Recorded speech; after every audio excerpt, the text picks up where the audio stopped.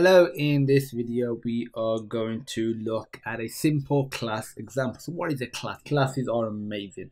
Classes allow you to encapsulate code and think of it like this. You have vehicles all over the world. You, let's say a game, for example. You have vehicles and you have a car that's a vehicle. You have a motorbike that's a vehicle. You have, let's say, a train that's a vehicle. And a car has a speed. A motorbike would have a speed. A train would have a speed. A car would have a weight. A motorbike would have a weight, a train would have a weight. You, you see where I'm going here? They have similar properties and they might have similar methods.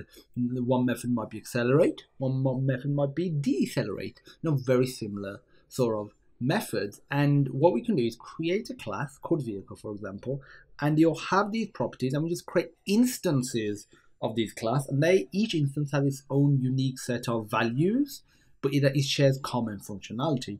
It's quite a lot to take in, and if you don't get it the first time, go over the videos again because honestly, it's it, the actual idea, the philosophy around classes is called OOP, Object Oriented Programming, and it is one of the I'll say pitfalls that a lot of new developers fall into. So if you haven't come across object-oriented programming and you get a bit confused, don't worry, that is just natural. So in this video, this is a simple example. In the next video, we're gonna actually look at creating instances of our class. So to create a class, pretty simple, just use the keyword class and then you specify the class name. So I want to say, or I'm to say vehicle. I'm to stick with that vehicle class. This is the the example I always use when I'm teaching at university as well. So now you can specify like any variables. So these will be global variables.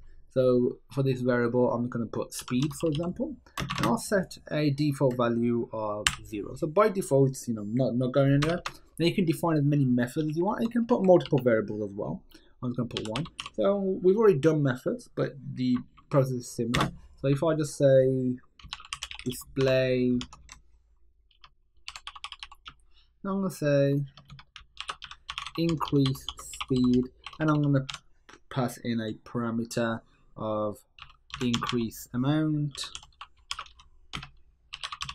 and something else to note is all methods in Python have to have the self keyword at the start you won't actually pass anything in for the self keyword. This automatically passes in the instance of the class itself. So you would just pass in increase amount, or if there was three variables including self, then you just pass in the two variables, not the self. Okay, so put a colon in here. We are just going to say self.speed. So this accesses the speed of this self, and we're going to say plus equals to increase amount. So we just add it to, we just add increase amount to speed. Honestly, this is a very simple example and that's all there is to it. You can have more functions, you can have more variables, and you can have a few other extra features that we'll cover throughout this series. But that's, this is a very simple example. In the next video, we're going to look at actually creating an instance of our class. And let's just run this just to make sure we're not getting any errors. Obviously, you won't display anything because we haven't done any prints or anything, but that's fine.